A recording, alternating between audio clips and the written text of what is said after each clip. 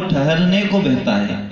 जो पानी ठहरा ना हो, वो ठहरने को बहता है। इसीलिए समंदर नदियों का मकाम रहता है। बनाए हो किसी ने चाँद पर भी ताज तो क्या?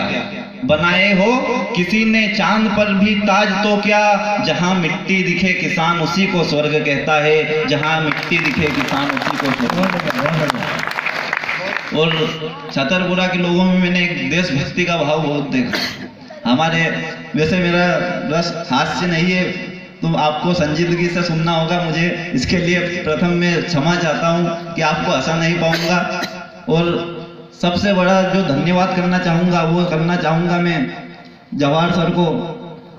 उन्होंने उनके विचार निकले कि हमें एक रक्तदाता समूह का गठन करना है, और उन्होंने किया जो कि हर छतरपुरा गाँव के लगभग हर घर से एक रक्तदाता आता है।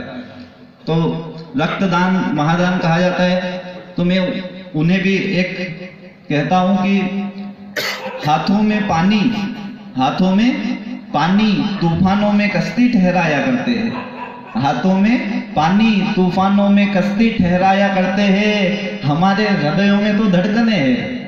हमारे हृदयों में तो धड़कने हैं। छतरपुरा वाले यहाँ तिरंगा लहराया करते हैं। छतरपुरा वाले यहाँ तिरंगा लहराया करते हैं। जोरदार ताली बजाइए एक बार और। और जैसा माहौल चल रहा है